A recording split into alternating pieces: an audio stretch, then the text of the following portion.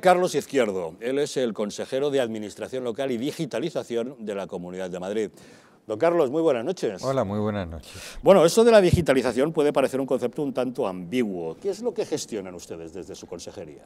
Bueno, efectivamente la digitalización es, alguien, es algo que nadie entiende, pero es algo muy sencillo y es el mundo se está transformando, estamos haciendo una gran transformación digital y todos vemos hoy cómo utilizamos los móviles, utilizamos plataformas, utilizamos nuevas formas de comunicación y lo que estamos haciendo en la Comunidad de Madrid es precisamente liderar ese cambio. Y queremos ser más que nadie, liderar eso no solamente a nivel nacional, sino a nivel europeo, y estamos haciendo esa gran transformación en la administración y en toda la sociedad. Y por eso tenemos eh, muchos procedimientos. Eh, el primero, pues es crear una gran red toda conectada. En segundo lugar, pues que todos estemos eh, capacitados y tengamos conocimientos digitales para poder utilizarla. En tercer lugar, y muy importante, es tener una administración totalmente digitalizada, por lo tanto cambiando todos los procedimientos que hasta ahora estamos utilizando. Luego, que toda la sociedad eh, civil, que todas las empresas compartan este sistema y para ello también tenemos que hacer un esfuerzo muy importante, sobre todo en la digitalización de las pequeñas y medianas empresas y de todos los autónomos. Y finalmente, y yo creo que es lo más importante, convertirnos en ese nodo digital del sur de Europa, que es el objetivo fundamental que ha establecido la presidenta, y es eh, liderar esa transformación digital para ser el gran referente en la digitalización del sur de Europa. Estamos ya embarcados en ese proceso, vamos avanzando a un ritmo de vértigo, vamos a ser capaces de cumplir con todos los objetivos y, es el futuro y Madrid está en ese futuro. Señor consejero, ¿qué relación hay entre digitalización y el crecimiento económico para la Comunidad de Madrid? Vamos a ver, digitalización no solamente es pasar algo analógico a digital, no es escanear un documento y tenerlo ya de forma digital. La transformación digital es mucho más, es que todos los procedimientos sean digitales, es decir, que las transacciones bancarias las hagamos de forma digital, que eh, cuando presentamos una licencia presentemos toda esa documentación de forma digital y podamos hacer todos esos cambios de forma digital, es cambiar pues, las reglas de juego que siempre han existido. Y es verdad que Madrid eh, está avanzando mucho, está avanzando muchísimo, y, bueno, lo que estamos intentando es eh, que seamos pues ese centro neurálgico de todo lo que es bueno esa digitalización y lo que queremos es que la administración sea pues el, gran referente, el gran referente no solamente en lo que es la administración autonómica, sino también en todos los ayuntamientos. Y cuénteme un secreto, ¿cómo se trabaja desde la administración para evitar los ataques informáticos de los hackers? Bueno, pues también eh, tenemos nuestros procedimientos y es con la creación primero de una agencia de ciberseguridad. Dentro de muy poquito tiempo crearemos eh, o llevaremos al Consejo de Gobierno un borrador de proyecto de ley que llevaremos luego a la Asamblea para su aprobación y que permitirá crear una agencia de ciberseguridad, una agencia de ciberseguridad que protegerá no solo a la Administración madrileña, sino a todos los ayuntamientos. Queremos también proteger a las empresas y a la sociedad civil y además hacerlo de forma totalmente vinculada con el Centro Nacional de Inteligencia, con, con todos los que en estos momentos nos protegen, porque queremos crear esa gran red que proteja a todos. ¿Se puede aspirar, señor consejero, a una administración digitalizada al 100%? Hoy por hoy no, pero el futuro será sin duda que sí. Y Madrid está avanzando a, pues mucho, de forma muy intensa.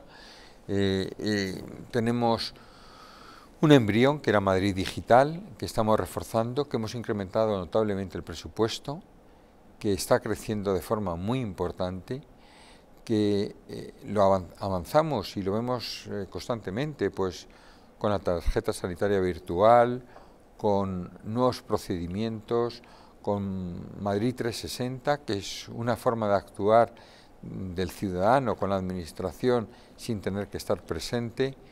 Y bueno, cada vez vamos incorporando nuevos retos, lo hemos visto en educación, eh, con las pantallas digitales, lo estamos viendo hace muy poquito con las con la telemedicina, donde además podemos mandar una imagen, pues a lo mejor de un lunar que tenemos y sin ir a la consulta nos van a decir eh, si es un melanoma o no es un melanoma.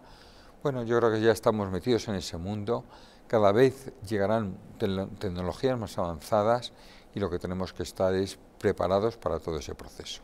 Hay que reconocer que Madrid ya está muy avanzado digitalmente. El territorio de Madrid tiene el 90% de su territorio con cobertura de fibra óptica frente a una media nacional que se queda en un 80%. Me imagino que el siguiente reto ya es ir por el 5G. Sí, así es. Eh, digamos que hay tres fases en este momento. Una es todo lo que tiene que ver pues, eh, con la fibra óptica, donde Madrid tiene una red de cobertura muy amplia, el 90%, frente a ese 80% de media nacional, pero somos los que tenemos mayor cobertura a nivel europeo. En segundo lugar sería otro sistema que es el 4G, que también estamos muy por delante del resto de comunidades autónomas y además en la cabeza de las comunidades eh, de las principales regiones europeas. Y luego el 5G. El 5G va avanzando de forma muy importante, todavía no está instalado. Eh, es una tecnología novedosa que lo que va a permitir es la conexión de los móviles con todo lo que son eh, el Internet de las cosas. esa tecnología se está instalando ahora mismo y Madrid ya está a la cabeza. lo que queremos es ser punteros avanzar mucho en esta tecnología y cuando sea el momento, pues eh, estar claramente a la cabeza. ¿Esto que no va a permitir? Pues entre otras cosas tener el coche autónomo, tener conexión eh, pues con toda la red de aparatos, bueno, una potencialidad brutal. ¿Por qué la presidenta Isabel Díaz Ayuso, después de las elecciones del 4 de mayo, decidió que tenía que montar una consejería de administración local y digitalización? Bueno, porque es el futuro y ella mejor que nadie lo vio. Eh, la administración local es la relación con todos los ayuntamientos, la Comunidad de Madrid quiere estar presente en todos los municipios, hay muchas cosas que fallan, eh, hay muchos problemas en los municipios, el propio gobierno de Sánchez no provee de secretarios, ni de interventores, ni de tesoreros, que es competencia de habilitados nacionales de él.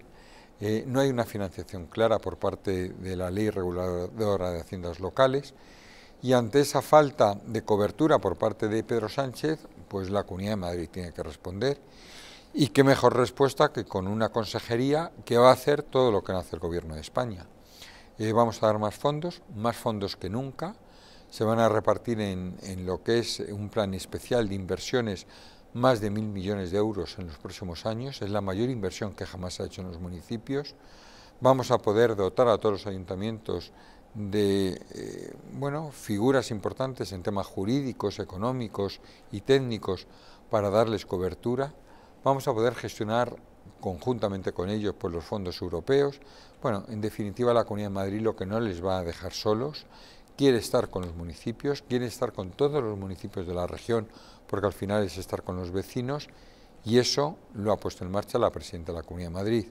Por otro lado, la digitalización, como hemos visto, es el futuro todo pasa por la digitalización. Una empresa que no esté digitalizada no va a ser empresa en unos años. En estos momentos se, necesitan más de 400.000 puestos de trabajo de personas que conozcan eh, los temas digitales, que tengan un conocimiento digital. No hay esa formación. Tenemos que dar un vuelco, un cambio brutal a todo lo que es el sistema educativo, porque tenemos que proveer a gente que sea capaz Mm, de estar en lo que necesitan las empresas. Y la presidenta aquí también ha querido pues liderar este cambio, sabe la importancia que tiene la digitalización, esa transformación digital y lo que ha querido es que la Comunidad de Madrid esté presente. No hay ninguna otra región de España que tenga esto ya creado y Madrid sí, y Madrid lo quiere liderar, pero no solamente en España, como antes decía, a nivel europeo. Hablaba usted hace un momento de fondos, me imagino que se refiere al PIR, el Plan de Inversión Regional, que ya ha sido aprobado para el periodo 2022-2024, y que, ¿en qué consiste? ¿En ayudar a los municipios a que hagan qué? Bueno, vamos a ver, los ayuntamientos eh, tienen una falta de fondos, de financiación. La ley reguladora de haciendas locales es una ley antigua que el propio presidente Pedro Sánchez ya dijo que se tenía que eh, redefinir. Eh, han pasado los años, los municipios siguen exactamente igual de abandonados, esa ley no se ha avanzado absolutamente nada Y lo que hace la Comunidad de Madrid, pues esa falta de inversión que tienen muchos municipios, especialmente los pequeños, los más alejados de la capital, los más rurales, pues proveer de esos fondos, es decir, una inversión muy importante. Hacemos inversiones que son competencia local, pero siempre haciéndolo eh, de la mano de los ayuntamientos.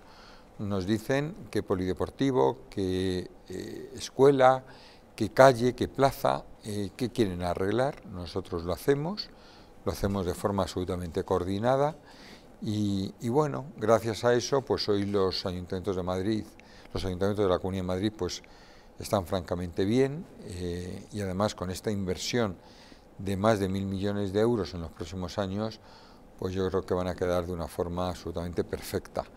Eh, el gasto corriente, el día a día de cada administración, lógicamente eso ya depende de cada ayuntamiento, pero lo que le quitamos del medio pues es toda esa inversión adicional. Hombre, mil millones de euros es una cantidad de dinero importante que además son los ayuntamientos los que deciden en qué lo quieren invertir. Si eso es así, ¿por qué hay algunas críticas de la izquierda que dicen que dejan de lado a los ayuntamientos? Bueno, pues son críticas que no tienen ningún sentido. El que les deja de lado, y lo saben ellos, es eh, Pedro Sánchez. Estamos insistiendo mucho en que ahí tiene que haber una ley de reforma de lo que es la administración local eh, los ayuntamientos están infrafinanciados, pero han estado abandonados y lo han estado en multitud de ocasiones. El gobierno de Pedro Sánchez no quiso dar el superávit a los ayuntamientos, tuvo que ser el Partido Popular y, especialmente Pablo Casado el que a través del Congreso de los Diputados forzara a que los, eh, el gobierno pues, diera esa financiación adicional. Eh, la ley reguladora de haciendas locales está abandonada.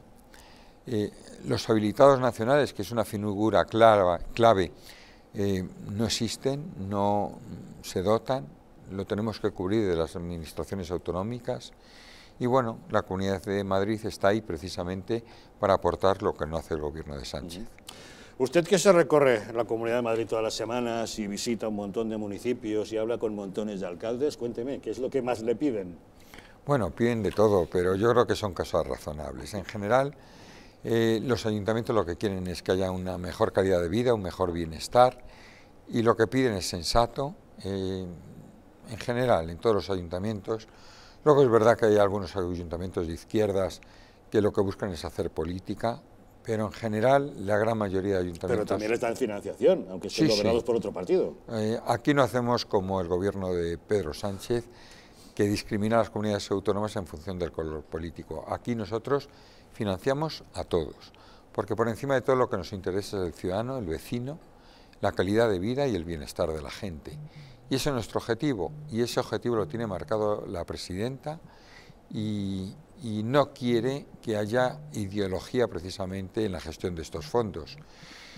Lo único que quiere es que aquellos que están más discriminados pues tengan más fondos. ¿Y quiénes son? Pues los más pequeños, los más rurales, los que más despoblación tienen, los que tienen más dificultades para la revitalización y ahí es donde más eh, dinero pues vamos a invertir.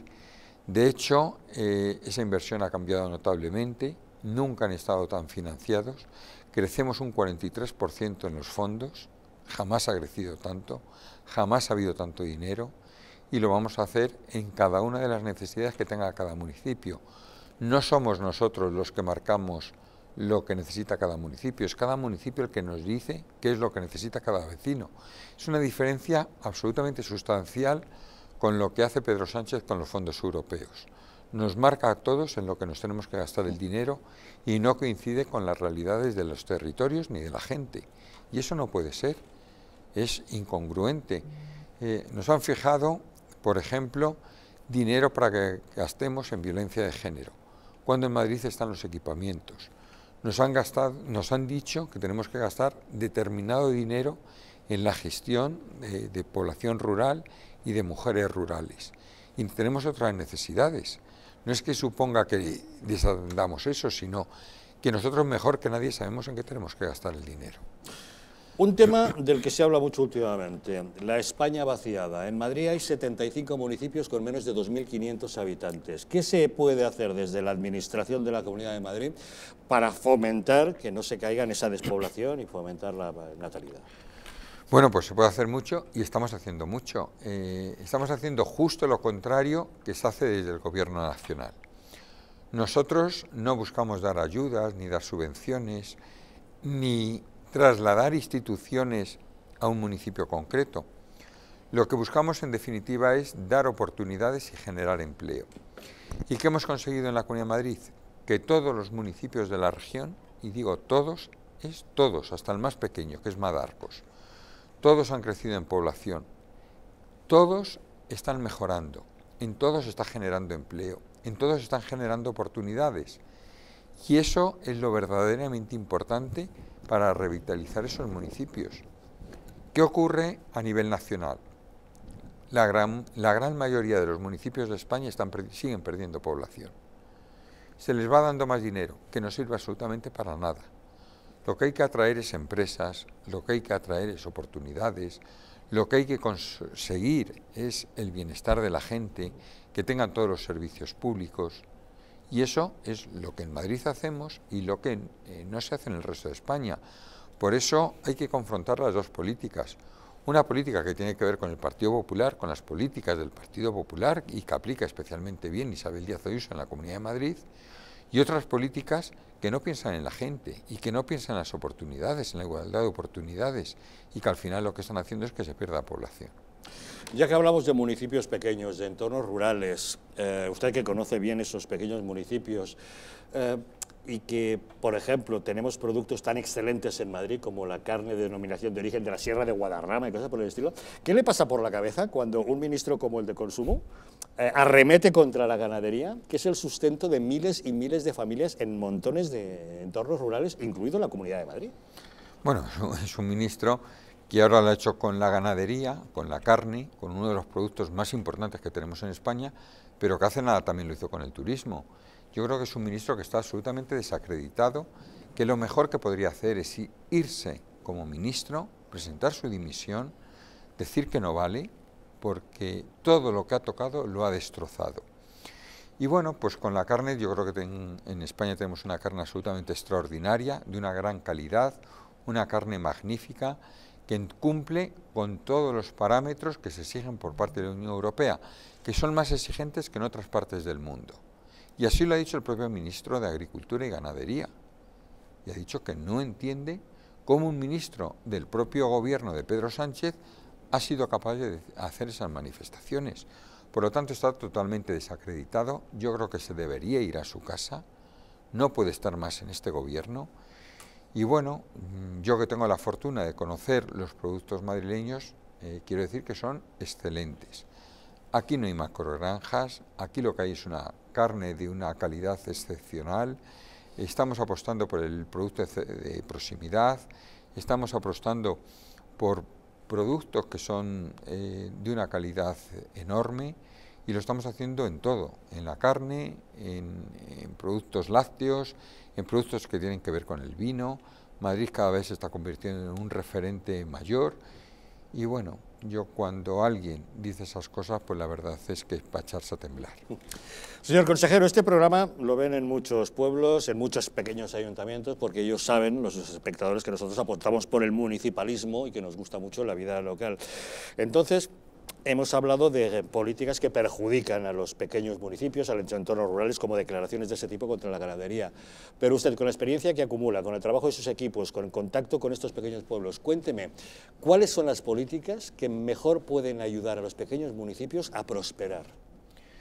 Bueno, lo primero, yo creo que tenemos que hacer políticas que tienen que ver con el reequilibrio territorial. Eh, queremos que crezca el extrarradio exactamente igual que el centro que crezcan los pequeños municipios igual que los grandes, que crezca el entorno rural igual que el urbano, que crezca el norte igual que el sur y el este igual que el oeste. Eso es lo principal. En segundo lugar, hay que hacer políticas que tengan que ver con la cohesión social. Todos tenemos que crecer de forma equilibrada sin dejar a nadie atrás. Y por eso es tan importante el empleo y buscar las oportunidades. En tercer lugar, y, yo creo que también eso es muy importante, es buscar la revitalización de aquellos municipios de entornos rurales que tienen pues una deficiencia con el resto. ¿Y eso cómo se consigue? Pues apostando por las tradiciones, apostando también por la sostenibilidad medioambiental y es compatible la sostenibilidad y el crecimiento. En cuarto lugar, y yo creo que también eso es vital, es que hay que conseguir un mínimo de calidad y de bienestar social para toda la población. Todos tienen que conseguir lo mismo, se viva donde se viva. Y eso es un objetivo prioritario que ha buscado la presidenta. Y por eso queremos prestar los mismos servicios en cualquier municipio. Y ahí la digitalización tiene mucho que ver, porque la digitalización lo que va a permitir es acercar la administración al ciudadano. Y bueno, yo creo que cumpliendo con todo esto conseguimos una comunidad mucho más equilibrada, una comunidad que crezca eh, tanto en el entorno urbano como en el rural y una comunidad que sea atractiva. Estamos trabajando en ello y con ello lo que estamos consiguiendo es eh, atraer empresas, atraer inversión extranjera y que no busquen solamente estar centrados en Madrid, sino que han decidido también buscar otros sitios, otros espacios, otros municipios y no solamente en el área metropolitana, sino también en lo que es la parte más rural. Pues ya lo saben los alcaldes de las pequeñas poblaciones que nos ven a menudo y que en ocasiones se ponen en contacto con nosotros para contarnos sus problemas. Si tienen ustedes proyectos, quieren crecer, quieren prosperar, ya saben, llamen a la puerta de su gobierno regional que tiene un departamento diseñado justamente para apostar por el crecimiento y la prosperidad de los municipios de la comunidad. Don Carlos Izquierdo, consejero de Administración Local y Digitalización, muchísimas gracias por habernos acompañado hoy en Los Siento Cables. Bueno, pues un placer, como siempre, estar aquí y como siempre, pues a vuestra disposición. Muchísimas gracias.